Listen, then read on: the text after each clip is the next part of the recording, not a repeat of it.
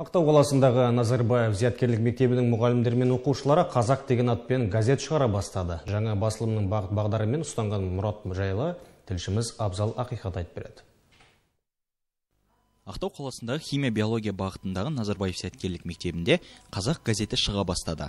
Бұл идеяны 10-шы сынып оқушысы Наргиз Жалғас пен 11-ші сынып оқушысы Нұрғасыр Төребаев ағылшын пәні мұғалімі алтын келімбердиева мен қазақ тілі және әдебиет пәнінің мұғалімі айгүл айтан іске асырып жатыр. Газеттің негізгі мақсаты қазақты әлемге таныту. Сондықтан қазақ газеті екі тілде шығады қазақша және ағылшынша. Мен де биыл қандай ғылыми жобамен айналыссам деген ой үстінде жүргенде ахмет байтұрсыновтың ұлтты тәуелсіздікке үндеген қазақ газеті деген сабағын өттім.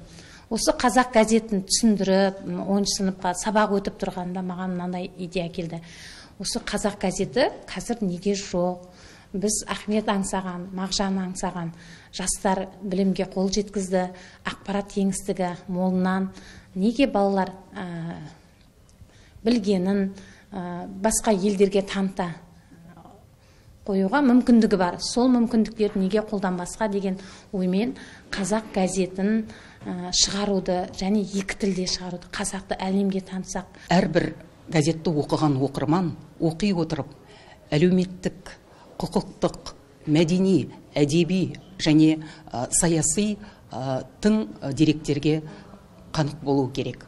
Осыны осыны есепке ала отырып біз қазақ газетін тек қазақ тілінде ғана емес басқа да елдерде тұратын қандастарымыз үшін және орта азияны тіпті қаласа қазақстанды танып білгісі келетін шетелдіктер үшін осы газеттің ағылшын тілінде аудармасын қазақ тілінде мәліметті ағылшын тіліндегі аудармасымен қоса беруді жөн көрдік.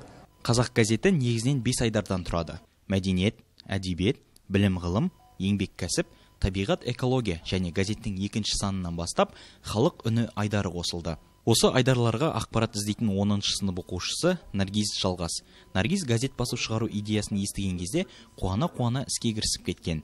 Ал 11 сынып оқушысы нұрғасыр төребаев жиналған ақпараттарды ағылшын тіліне аударады. Нұрғасыр бай тілдердің бірі қазақ тілін ағылшын тіліне аудару оңай емес екенін айтады. Кез келген жұмыс оңай емес қой. Бірақ та біз бірінші баспаны шығаруға шамамен он күн жұмсадық. Себебі ә, жалпы тез арада шығарғымыз келді. Ә, идея өте көп болды соның барлығын қорытып ә, тез уақытта шығардық. Жалпы менің басты мақсатым бұл ә, оқырманды қызықтыратын әрі оны өзін өзі басқаруға бір ықпал ететін ақпаратты іздеп орналастыру болды. Бұл бұл ізденісте маған менің әріптестерім көмектесті менің ғылыми жетекшілерім көмектесті. Осы жиырмасыншы ғасырдың қазақ тарихы деген тақырып мені қатты толғандыратын тақырып еді. Сондықтан да бұл тақырыпты естігенде мен кәдімгі көзім жанып кетті да кәдімгі менің тақырыбым сияқты болды сондай сезім болды. Сондықтан да сондықтан да осы, осы жұмысты соңына дейін әкелдім деп ойлаймын. Ә, әрине қазақ тілі бай және оралымды тіл оның мағына кейбір ә, поэзияларды аударғанда әрине өте қиын. Ә, себебі ә, автордың стилін және де ұйқасын келтіру оңай шықпайды. Ә, дегенмен ә, бірінші өлеңімді аударғаннан кейін соның авторына яғни еділбек дүйсеновке жіберіп ә, оны бағалаңыз дегеннен кейін ол мені мақтады. Содан кейін кішкене сенім пайда болды.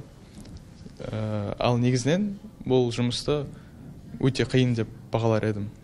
Қазақ газетінің ерекшелігі ахмет байтұрсынұлының шығармаларынан үзінді және газеттегі әр айдарға ұлт ұстазының афоризмдерін қолданады. Ал ағылшын тіліне аударуымыздың себебі шетелде оқитын студенттер. Мектеп түлектері арқылы оқырман санын арттырып қана қоймай қазақты әлемге таныту дейді редакторлар. Абзал ақиқат саламат қайыпов дидар.